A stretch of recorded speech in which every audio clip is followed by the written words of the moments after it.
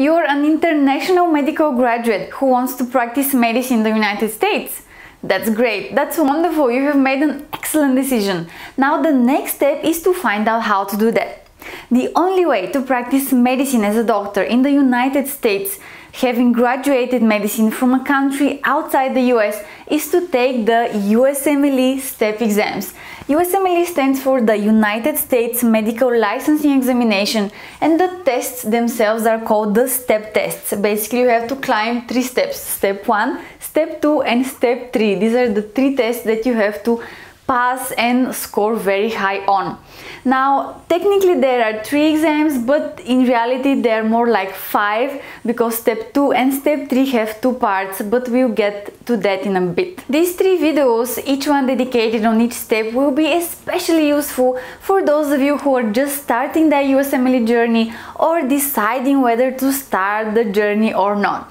Honestly, I wish there were more like these videos when I was first deciding whether to start preparing for the USMLE STEP exams or not because these exams tend to sound and look more difficult than they really are but trust me with the right motivation and preparation they are very much doable. Detailed information on how exactly the United States medical educational system works you can find by watching my video dedicated on this topic because I truly believe that you must understand why they make you take this STEP exam as an international medical graduate who wants to practice medicine in the United States.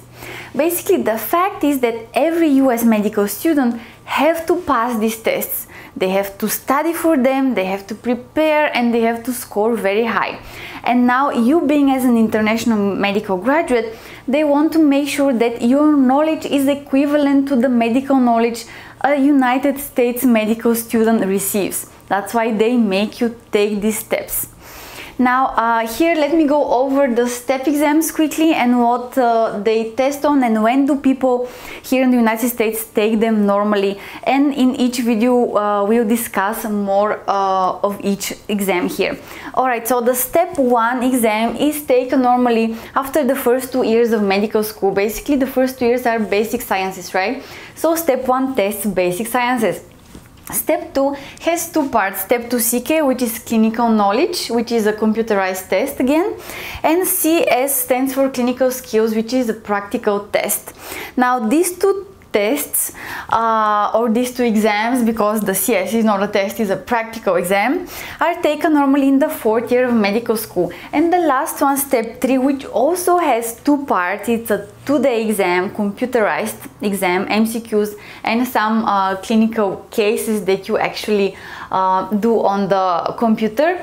They're taken normally after the first year of residency here because it's very very clinically oriented.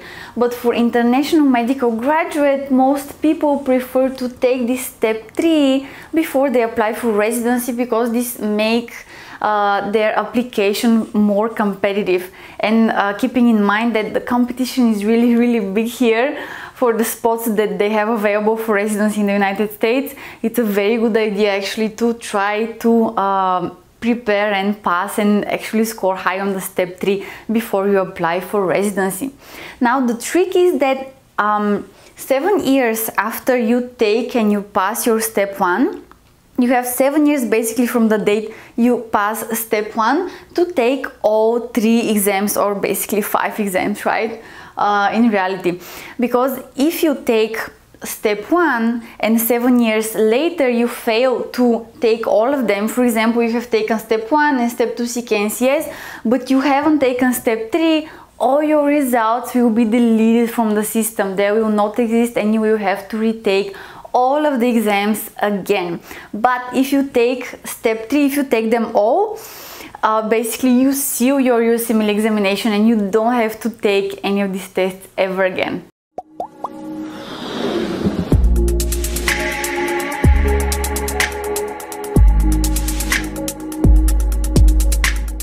This video will be dedicated on step 2 entirely and what will it test you on.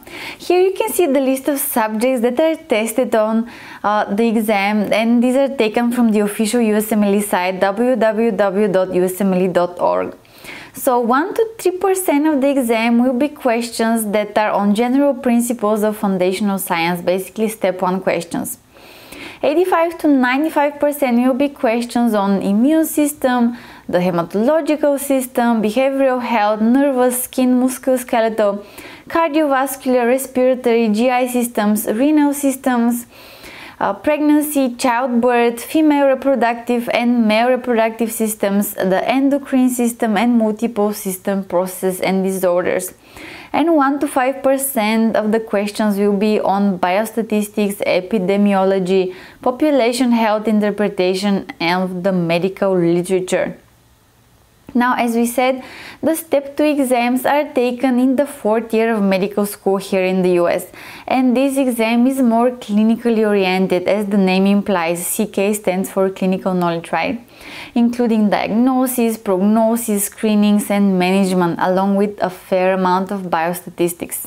Now let's go over the structure of our step 2 CK exam, the step 2 clinical knowledge exam. This exam is again a computerized MCQ test which lasts 9 hours. This time is 1 hour longer than the step 1 and it has maximum of 380 MCQs multiple choice questions. These questions are divided into 8 blocks in comparison to step 1 where we had 7 blocks. And again each block uh, can have maximum of 40 questions but the number of the questions in each block may vary. And again you have 45 minutes of uh, official break and 15 minutes from the tutorial if you decide to skip it which every person who takes these tests uh, skips because we are all familiar very well with the software of the test now again, uh, I always recommend that you take the first two blocks back to back because your mind is still fresh. And then what I personally did and worked perfectly for me is I used to take break after each block after the second block. So break after the third block break after the fourth block and so on. Because you need again to focus on each block and each question entirely you have to give them 100% of your attention. And if you start getting tired which does happen on every exam regardless of how much you have been preparing and how many questions have you uh, taken and how much you have practiced already it doesn't matter. Your brain gets tired your eyes get tired. Everything is really really tiring. Emotionally you get very tired on the exam date. So you need to pace yourself and use that break. And don't be afraid to take breaks after each block so you can uh, have time to recuperate to have something to eat chocolate water to splash your uh, face uh, with cold water if you wish just something that will keep you fresh all the way until the 8th block. Let's go over the structure of our step 2 CS exam, the clinical skill part of our step 2 exam. So this part is a practical exam, there are no MCQs, but you're gonna have to meet 12 patients and for each patient you're gonna have 15 minutes to uh, take down the history, to perform physical examination and to write your note. Now having said that, these 12 patients are not real patients Surprisingly, they're actors. They're actors who are taught to uh, show you and to exhibit the same complaints and symptoms a real patient would have uh, having a certain disease, right? So it's very, very interesting. It's very fun. It's a very fast-paced exam and it's a fresher breath of air especially for those of you who uh, like uh, the practical side of medicine and not just doing MCQs. Step 2 CK is equally important. Again you want to pass the test on first attempt with a score of more than 240. Passing score for CK is 209. As I mentioned in the step 1 video, you can actually take the test six times. You have six attempts to pass the test, but I highly recommend that you do not take it more than once.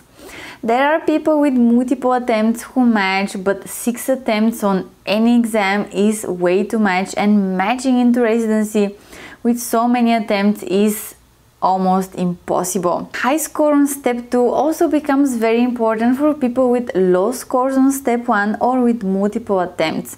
Ideally, your scores should be increasing with each step, regardless of how high or low the score on the previous test was. Passing the step two CS on first attempt is also very very important as this is the only practical exam from all three steps and in case god forbid you don't pass it on the first time it leaves a very bad impression of basically you not being able to uh, manage patient real patients. But people match with multiple attempts on CS, so it's not the end of the world but uh, your goal should be always as I keep telling you pass your tests on first attempts with high score. On CS, you're scored on three parameters, clinical knowledge, communication and interpersonal skills, and spoken English proficiency. You must pass each parameter or each section of the test in order to pass the whole exam.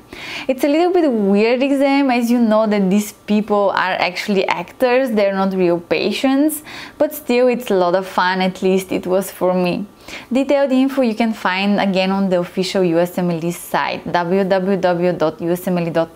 My last words for you guys is that without a doubt the USMLE exams are one of the most difficult exams in the world and you're gonna have to have a lot of mental, physical stamina and in-depth comprehensive medical knowledge in order to tackle them. But having said that, they're not impossible, they're very much doable with the right motivation and preparation. It takes a lot of dedication, it takes a lot of time and hard work, but it's totally worth it. Just imagine this warm feeling of satisfaction and being proud of yourself that you have actually tackled the most difficult exams in the world. Just imagine this feeling, visualize it, and I'm sure that each and every one of you who puts the hard work will be able to experience this in reality. And remember that success comes to those who are looking for it, who are working towards it, who are dreaming of it, who are willing to put the effort and the hard work towards it. And that's why we are here for to facilitate you, to help you through this process, to guide you with, with, directions or with medical knowledge, with whatever we can. And I wish you good luck for you all. I'm sure that you will all succeed in your journey. And also let me know if you have any questions whatsoever. I'm always here to help you guys. Good luck again and see you on the next video.